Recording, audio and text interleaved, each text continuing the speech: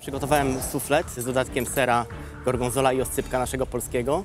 Sos przygotowałem e, bechamel z odrobiną anchois i syropu klonowego. Na sam koniec wbiłem żółtko, żeby mogło coś wypłynąć z niego.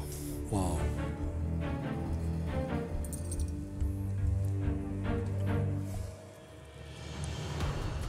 Ja się bardzo obawiałam, że ten e, suflet będzie ciężkim, skoro dałeś dużo ciężkich serów, a ciężki nie jest.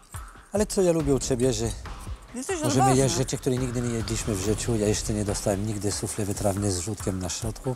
Jest też pierwszej. Ktoś Że musi tyle być. serów można czuć naraz. Brawo. Wow, dziękuję bardzo. Chodźmy. Nie jest źle, no myślę, że taka pierwsza konkurencja, takie no pierwsze koty, jak się mówi, pierwsze koty za płoty, tak? Magda, który mamy spróbować? Ten. On bardzo ładnie urósł, bardzo mi się to podobało. Był, naprawdę widziałam, że jest lekki, ładnie się uginał pod łyżką.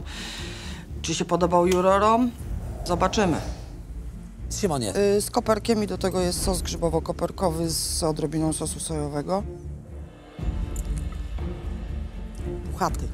mi szkoda, że nie, nie doprawiłeś trochę więcej, ale ładnie rośnie. Jest pieczony. Nic nie, nic nie leje e, się od sufle i widać, prawda, że forma jest e, czysta. Lubię te grzyby, to jest takie ja ciekawe, ciekawy sposób, żeby. Ja z tymi grzybami podać. mam problem. no, To jest suflet o delikatnym smaku i do tego rzeczywiście jest bombowy, mocny sos, który może być kontrowersyjny, niektórym może nie smakować, a innym może smakować. Bardzo dziękuję.